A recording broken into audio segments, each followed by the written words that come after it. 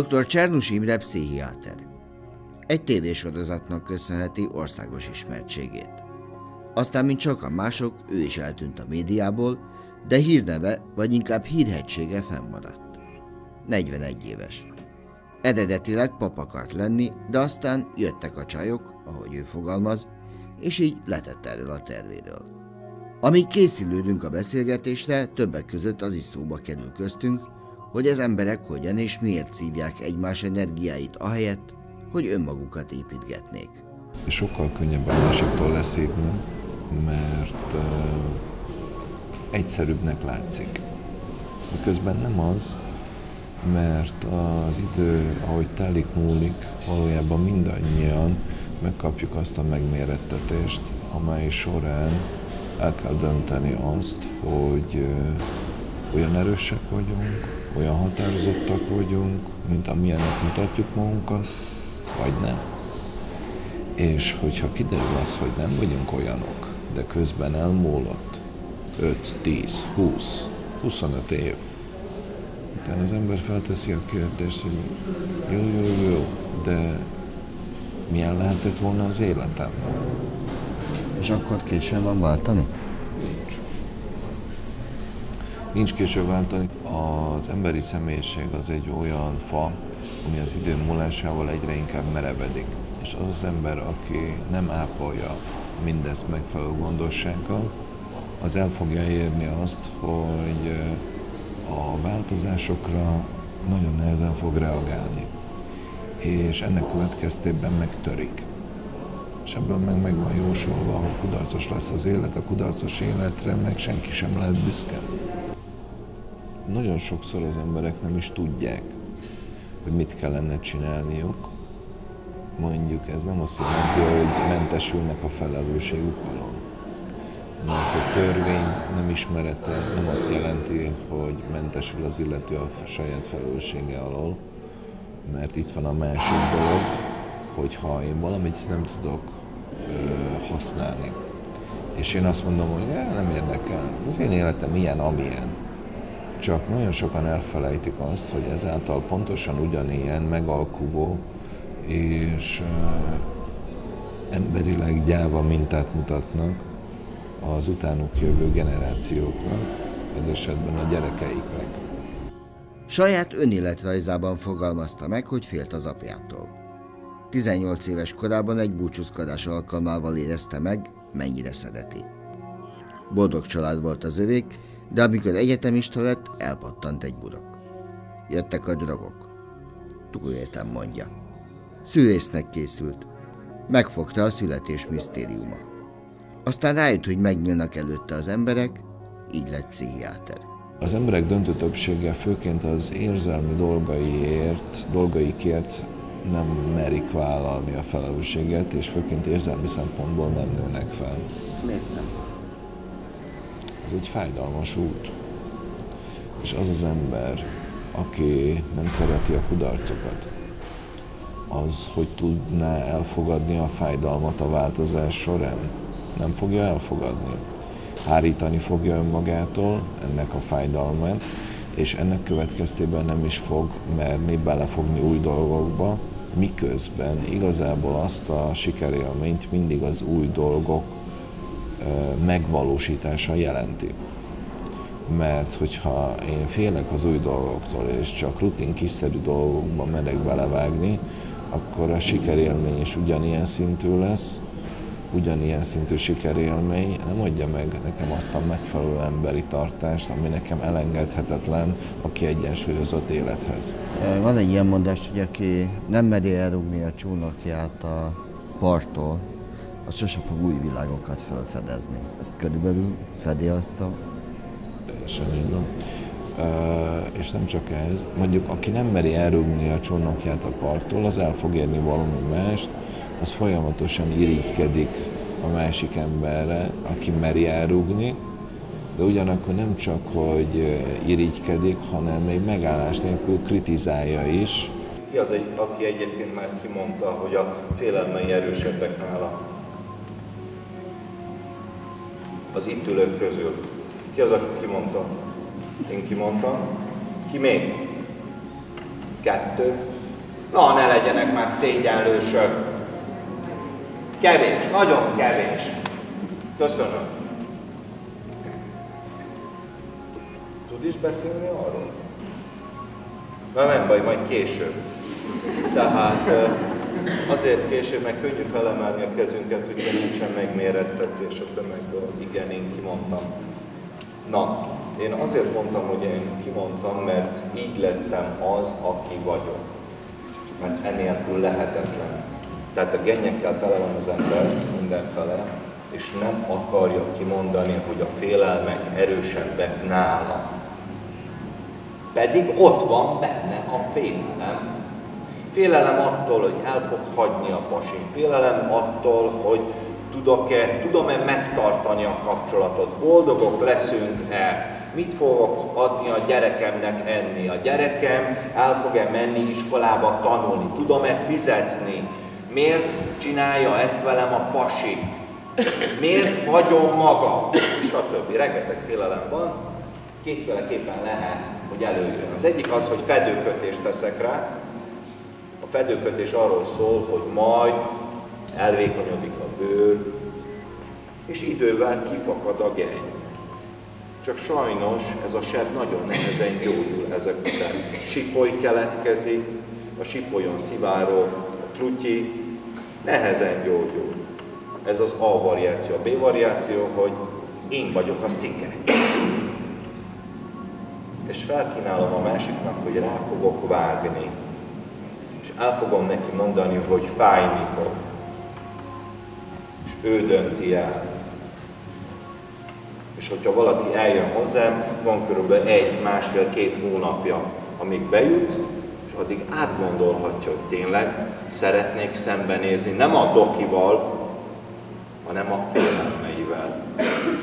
Mert én látom, hogy mitől fél, és mivel ő felkért rá, és én orvos vagyok, és felesküdtem, hogy a tudásom legjavát nyomom ki, beül a székbe, és én vágok. Ez a két út van. Én azt gondolom, hogy, a, hogy az emberek irigyek azokat az emberekre, akik sikeresek. De ezek az emberek, akik irigyek valakikre, azok soha nem nézik azt meg, hogy az az ember, aki elért valamit, hogy ő abban mennyi energiát fektetett bele. Mert valamit elérni, sikeresnek lenni csak is kőkemény következetes munkával lehet de nem csak racionális oldalon, mert egy idő után mindannyiunknak a belső kisugárzása szabályozza az életünk sod, ö, folyását. És hogyha én belülről tele vagyok egy csomó feszültséggel, nyugtalansággal, rossz kedvel, akkor az, ez az illető adja fel azt az álmát, hogy ő sikeres lesz, mert nem lesz az. Mert hogyha például nézzünk egy kereskedőt, aki tud mosolyogni, és egy olyat, aki nem tud. Mind a kettő körülbelül ugyanazt árulja.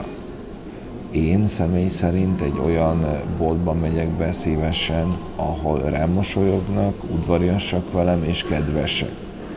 És nem fogok abba a boltba belemenni, ahol rám néznek, és azt érzem, hogy mi a francokat keresek én itt. Milyen bolt ma Magyarországon? Milyen bolt? Hát döntően a savanyú áruk boltja, ahol savanyú emberek, savanyú megkeseredett emberek árulnak látszólag jó portékát. Pedig nem így van. Külföldiek is sajnos ezt mondják rólunk, hogy egy megkeseredett nép vagyunk. Mitől van? Félelmektől. Mitől fél ma egy átlag magyar? Rengeteg mindentől. Hát ö, elsősorban fél az újtól. És ebben rengeteg minden benne van, mert hogyha valaki benne él egy adott párkapcsolatban, de az a párkapcsolat nem üti meg azt a szintet, amiben ő jól érezni magát, akkor az illető ember, aki fél az újtól, nem fog merni ebből kilépni, mert azt mondja, hogy minek lépjek ki, amikor az elkövetkező párkapcsolatok is ugyanerről fognak szólni. A Józsi ugyanolyan, mint a Pisti, a Pisti, mint a Pali, a Pali, mint a akárki más. És éppen ezért meggyőzi önmagát, hogy minek változtasson, amikor úgy is mindenki alul képzett, vagy mindenki emberileg egy görcs, és nem fog menni változtatni. Vegyék el. Vegy át az almát. Alma. Jó? Harapjanak bele az almába. Mondják el, milyen a boldogság almájának az íze. Édes. Kisasszony? Édes. Erre mondjuk a pasinak nem kínáltam fel, csak kíváncsi voltam itt, hogy mind a ketten átveszik-e. Átvették. Erre azt mondtam a, a hölgynek, hogy mert még van egy fontos info. Amikor szerettem volna magamnak valamit, a pasi folyamatosan azt mondta, hogy nincs rá pénz. Mert másra kell. És megkérdeztem a hölgyet, miért szeretne a kapcarangy embernek kijáró tiszteletet, amikor tíz évig hagyja magát, hogy valaki más kihasználja és felhasználja, mert az ilyenek soha nem kapják meg az embernek kijáró tiszteletet.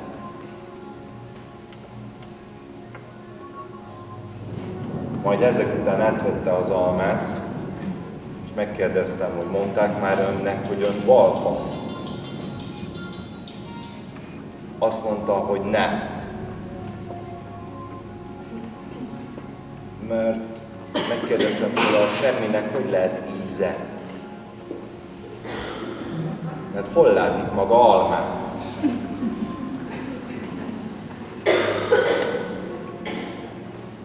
Mondom, tudja, így akar maga beleharapni a boldogság almájába és megmenteni a házasságot, aminek már rég vége van, és soha nem is volt.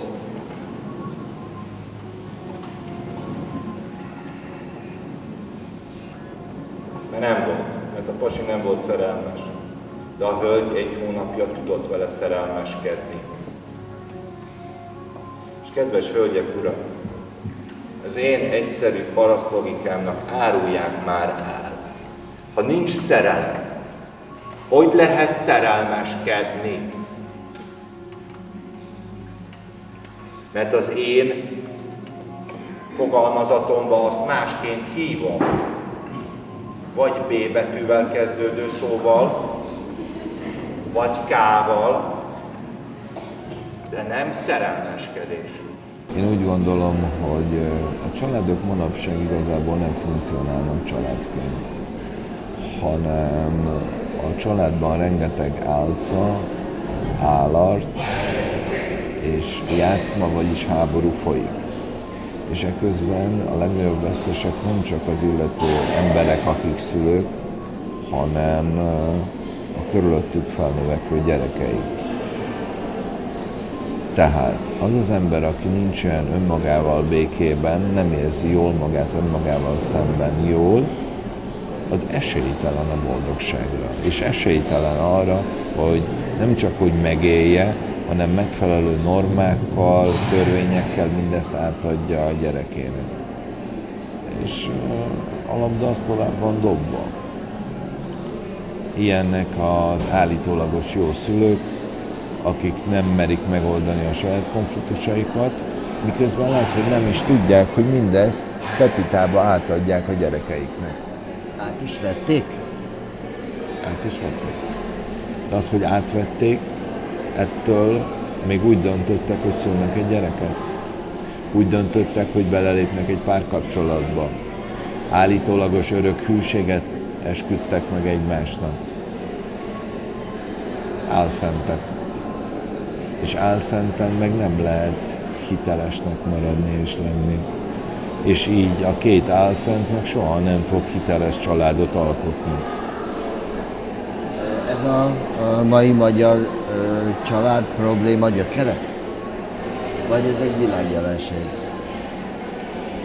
Ha azt mondjuk, hogy világjelenség, ez nem hiszem, hogy bennünket segíteni fog ennek a megváltoztatásában. Tehát legelőször az a fontos, hogy önmagunk portáján tegyünk rendet, és utána kezdjünk el nézelődni, hogy mások hogy, hogyan csinálják és hogyan élnek, de azt lehet látni, hogy bizony máshol, ahol akár nem keresnek egy adott összeget az emberek, mégis sokkal-sokkal boldogabbak, mint mi, magyarok. Milyen erő kéne ma ahhoz, hogy az emberek elmerjék kezdeni fölvállalni a saját magukkal szembeni harcot? Ezt két részre választanám, mert a, az emberek, hogy elkezdjék vállalni a saját harcokat, meg kell, hogy mondjam, ez az szükséges, hogy leérjenek a pokluk legmélyére. Akkor van talán esély, hogy megváltozzanak, de legtöbbször akkor sincsen, mert akkor meg már nem mernek. A másik esély, ami lehet, hogy fontosabb, hogyha a közoktatás eldöntené, hogy már akár óvodáskortól és felfelé elkezdik tanítani a bennünket ért konfliktusok megfelelő kezelését, mind pozitív, mind negatív oldalról. Ennek látod esélyét? Ez nem az én dolgom megítélni, én orvos vagyok, és nem politikus. Tehát én tudom azt, hogy orvosként nézve, ahhoz, hogy változás, ténylegesen változás következzen be, ehhez ilyen szintű döntések szükségeltetnek. Egyébként nem lesz nagyon változás, sőt, én azt mondom, az emberek döntő része még inkább lefelé megy a saját poklában. De ez, ha, ha folyamatként értékeljük, tulajdonképpen jó is. Mert hogy ahhoz, hogy egyszer elinduljon fölfelé, ahhoz el kell tudni jutni a legmélyére. Igen, ez kétségtelen így van, de az emberek döntő többsége vagy a gyerekek döntő többsége épp úgy fél a fájdalomtól és a kudarctól, mert a felnőtt szüleik nem magyarázták el ennek a szükségességét. És miközben félnek és elkezdenek rettegni, az, az ő idejük is épp úgy ketyeg, de ugyanakkor meg a személyiségszerkezetük egyre merevebbé válik. És így tovább, és így lazán így tovább adódnak ezek az önbecsapások és hazugságok. És hogy miért van ilyen sok pszichés, lelki beteg manapság? Mert nagyon sokan. Igazából nem változott semmi sem. Az em, a családok ugyanilyen álszentek voltak régen is, és most is. Az emberek ugyanígy bizonyos szempontból nem mertek felnőni.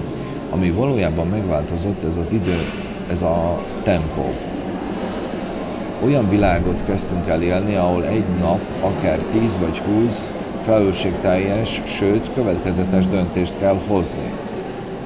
Mert régen, amíg nem volt ekkora forgalom, addig uh, talán jobban lehetett vigyázni. Több idő volt a megfelelő reakcióra. Csak itt nincsen sok idő. Itt nagyon gyorsan szükséges dönteni, és az az ember, aki nem tud gyorsan dönteni, mert makacsó köti az ebet a karóhoz, hogy majd ő megoldja egyedül a problémáját, sosem fogja. Na. Mi a nagyobb probléma egy ember életében? A magánéleti válsága, vagy az egzisztenciális válsága? Valójában mind a kettő. Tehát az egyik kihatással van a másikra, és mind a kettőre kihatással van még egy alapkonfliktus. Az alapkonfliktus meg arról szól, hogy ki az erősebb. Én, vagy azok a görcsök, amelyeket én hagytam valakik által, hogy önmagamba szívódjanak. A görcsök legtöbbször erősebbek. Egészen addig a pontig, amíg valaki ki nem meri mondani azt, hogy erősebbek, mert itt kezdődik az a folyamat, amikor valaki mer segítséget kérni. Azt olvastam valamelyik honlapon, hogy az az életfilozófiád, hogyha valaki ö, belelépett egy lukba, vagy egy válságba a saját maga, a saját lábán, akkor ugyanabból a lukból a saját lábán saját maga ki is tud jönni. Egyértelmű. Hát nagyon sok ember, aki elkezd siránkozni és jaj beszélkelni, hogy ő milyen szegény, szerencsétlen, akkor és ott ül előttem, és akkor azt mondom, hogy van két lába, van két keze, meg van még a feje, még nem beteg, akkor miért téblából, ahelyett, hogy cselekedne? Miközben tudja azt, hogy ez az állapot, amiben ő él, ez rossz. És hogyha ugyanakkor megnézzük azt, hogy miért alakult ez ki, nem olyan rég hallottam, egy, néztem egy filmet, ahol a, az egyik pasi elmondja a másiknak, hogy tudod, az önbecsülés az mindig bennünk lakozik. És tudod, mikor vészel? Hát akkor vész el, hogyha valaki ezt hagyja elvenni. Jó orvos akart lenni egész életében. Ez volt az álma. Hogy az-e egyéni megítélés kérdése. Önmagát annak tartja. Azt mondja, nem lehet úgy gyógyítani, hogy az ember, jelen esetben az orvos, teljes valójában ne fedné fel a beteg előtt, mi is igazán a problémák gyökere. Ha igaza van, már pedig a gyógyultak visszaigazolják elméletét, lehet, hogy a módszer az élet más területén is beválna. thank you